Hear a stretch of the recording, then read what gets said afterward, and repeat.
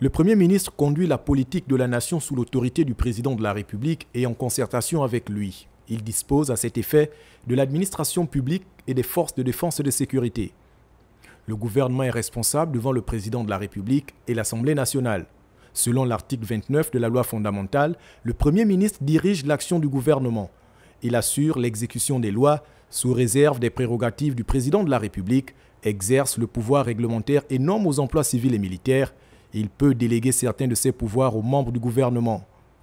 L'intérim du Premier ministre est assuré par un membre du gouvernement désigné par décret du président de la République selon l'ordre de nomination du décret fixant la nomination du gouvernement. Les actes du Premier ministre sont contresignés par les membres du gouvernement chargés de leur exécution. Le président de la République donne délégation au Premier ministre pour la signature des actes énumérés ci-après, les attributions provisoires ou définitives de terrains domaniaux décidées en Conseil des ministres, la fixation des zones d'aménagement immobilier, l'attribution et le renouvellement des licences d'exploitation forestière présentées par le ministre des Eaux et des Forêts après accomplissement des procédures réglementaires, le renouvellement des permis de recherche minière, les actes portant concession de pension civile d'ancienneté,